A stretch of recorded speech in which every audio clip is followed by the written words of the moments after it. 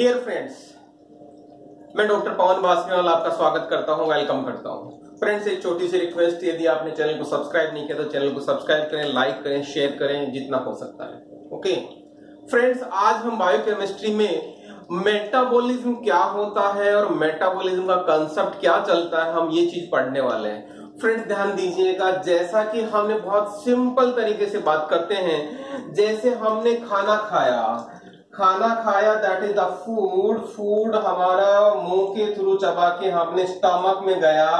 Stomach से होता हुआ वो इंटेस्टाइन में गया।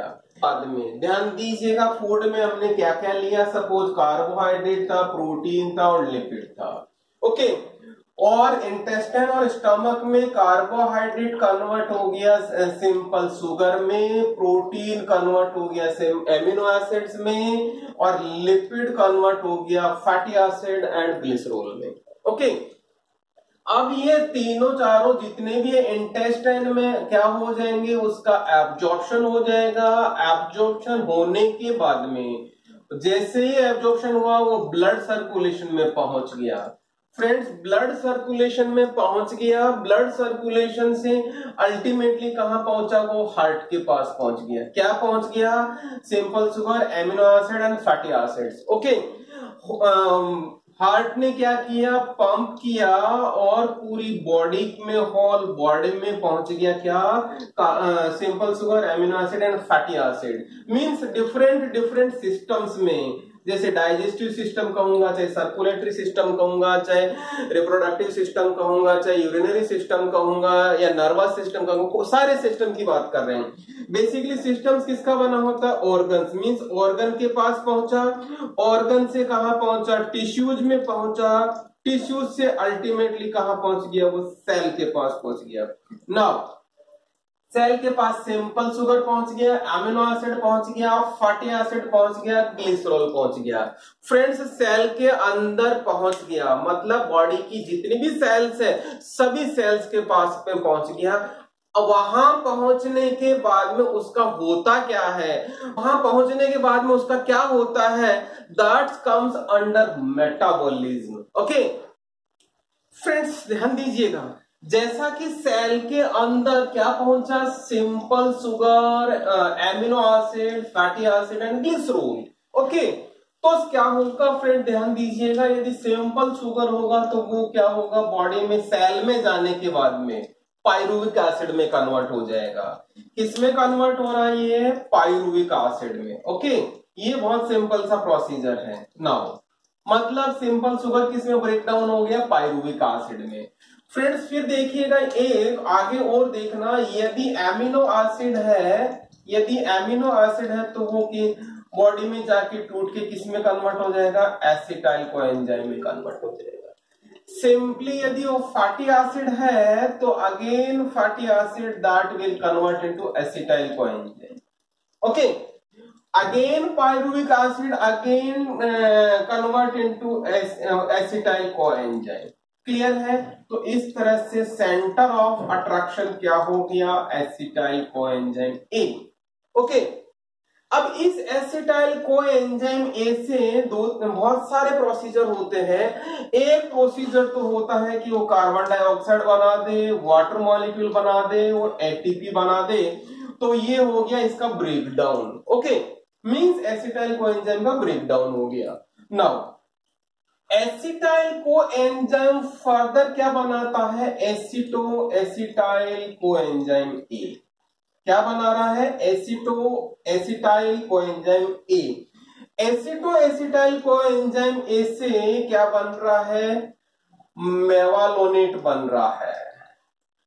एसिटो एसिटाइल को एंजाइम से मेवालोनेट बन रहा है मेवालोनेट से क्या बन रहा है फ्रेंड्स मेवालोनेट बना रहा है isopentyl pyrophosphate isopentyl pyrophosphate okay again isopentenyl pyrophosphate क्या बनाता है? विटामिन के क्लियर आइसोपेंटिनाइल पायरोफोस्फेट क्या बनाता है? कोलेस्टेरोल बनाता है। वो ये कहाँ पर प्रोसेस हो रहा है?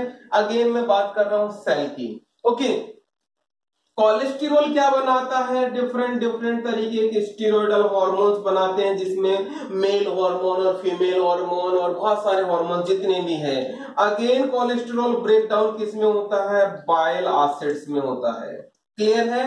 अगेन सेम चीज़ फिर आता है एसिटो एसिटाइल को एंजाइम क्या बनाता है? फैटी एसिड बनाता है। फैटी एसिड फर्दर किसका सिंथेसिस करते हैं? डिफरेंट डिफरेंट फॉस्फोलिपिड्स का आयोकोसिनोइड्स या यूँ कहूँगा प्रोस्टाग्लैंडिन्स वगैरह, इन सब का सिंथेसिस कौन करता है? अगेन फैटी एसिड करता है। तो फ्रेंड्स यहाँ पे मैंने आपको क्या बताया? देखना, यहाँ पे बनना बताया सिंपल सी मैं बात करता हूँ तो इस जगह पे ये ब्रेक डाउन हो रहा है। ठीक है? ब्रेक डाउन हो रहा है। क्या मॉलिक्यूल टूट रहा है? सिमिलरली यहाँ पर भी मॉलिक्यूल ब्रेक डाउन हो रहा है। ब्रेक डाउन हो रहा है। ओके ब्रेक डाउन का मतलब टूट रहा है। अगेन एसिटाइल को एंजाइम में यहाँ पे ब्रेक डाउन हो रहा है। क्लियर है? नाउ फ्रेंड्स ध्यान दीजिएगा ब्रेकडाउन का मतलब क्या होता है? एक बहुत अच्छा वर्ड आता है catabolic bigger molecule smaller molecule में टूटता है ब्रेक डाउन हो रहा है. कम टू द नेक्स्ट यदि मैं इन, इधर वाले बात कर रहा हूँ तो यहाँ इस तरफ़ क्या हो रहा है? एसिटाइल कोएंजाइम दो कार्बन वाला है यहाँ पे बड़े कार्बन वाले मॉलिक्यूल बन रहे हैं मतलब सेंथेसिस हो रहा है। सेंथेसिस हो रहा है। फ्रेंड्स में ध्यान दीजिएगा सेंथेसिस हो रहा है। सेंथेसिस हो रहा का मतलब क्या होता है? दैट इज़ एनाबोलिज्म एनाबोलिज्म ठीक है फ्रेंड्स तो ध्यान दीजिएगा कैटाबोलिज्म होता क्या है? Catabolism equal to catabolism equal to anabolism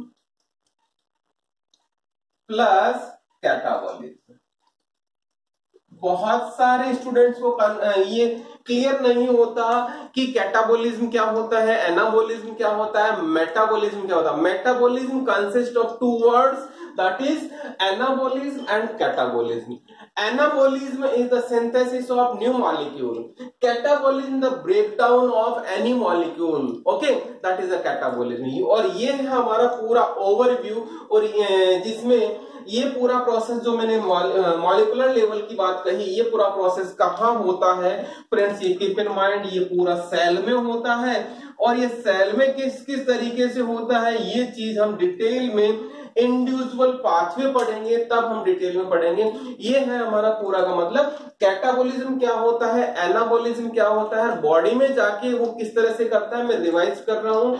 food को स्टमक में पहुँचा, कार्बोहाइड्रेट, प्रोटीन, लिपिड हमने खाना खाया इंटेस्टाइन में जाके उसका एब्जॉर्प्शन हुआ एब्जॉर्प्शन से ब्लड सर्कुलेशन में पहुँचा हार्ट में पहुँचा और होल बॉडी में पहुँच के सिस्टम के थ्रू ऑर्गन और टिश्यू के साथ में सेल के पास पहुँच गया। सेल के पास में पहुँचने के बाद में पूरा प्रोसेस होता है डिफरेंट डिफरेंट तरीके से। ओके फ्रेंड्स यदि आपको ये समझ में नहीं आया तो फ्रेंड्स आप एक बार दोबारा से इस वीडियो को देखें, आपको 100 परसेंट समझ में आएगा।